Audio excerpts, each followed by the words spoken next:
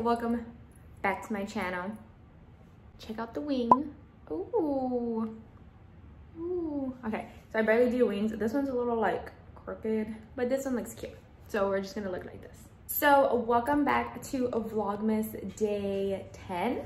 We are gonna be doing a fun video today. So my, I've uploaded um, nipple piercing pros and cons. I've uploaded belly ring or belly, what I put, navel, I'll put it right here. Um, that one did really well. So today we are gonna be doing the forward helix piercing pros and cons. So my forward helix is on both ears pierced and I will be going over some of the pros and the cons of having them. If anything, I'm just gonna start you off here. Um, I think the piercing in general is so pretty, but I feel like there's more cons in this piercing than there is pros.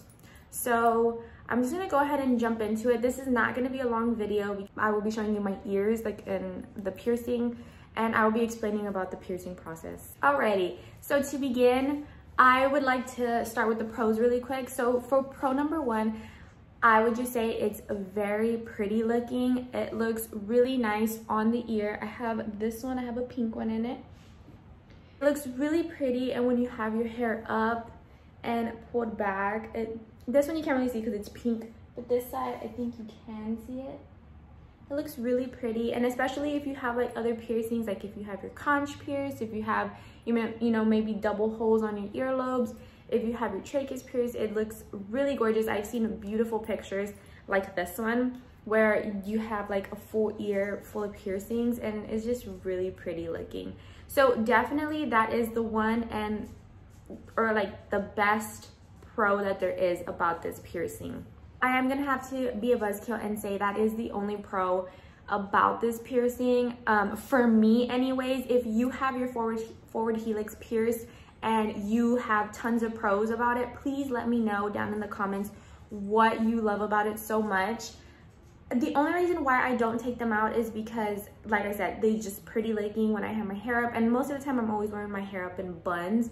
So, you know, I just love the way it looks. But I deal with the pain, okay? Like, beauty is pain, right? So the first con that I'm gonna have to say is really like, uh, it bothers me a lot. I've had it pierced for well over maybe five, six months.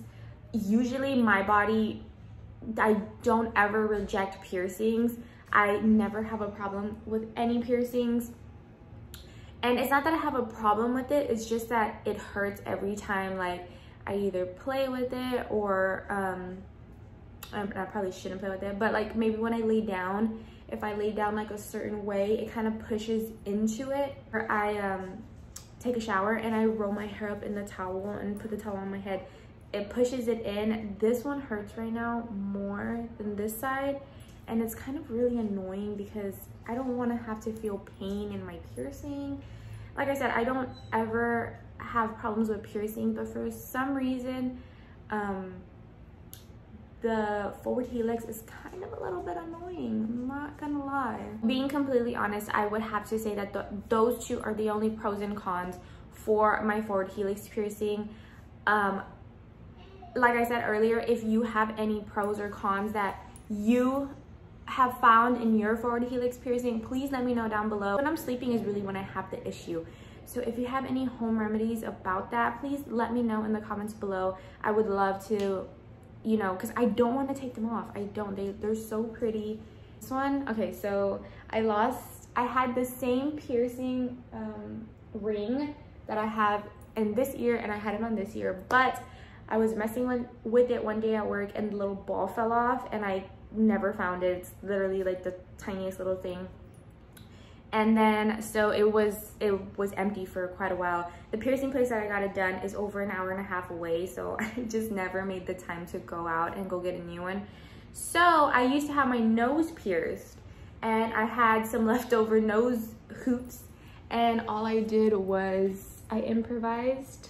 I put the nose ring through and then I got the little back of an earring and I put I put a clear one and I put it behind it so that way it won't like slip off or nothing and it's worked. Here is a close-up of both ears.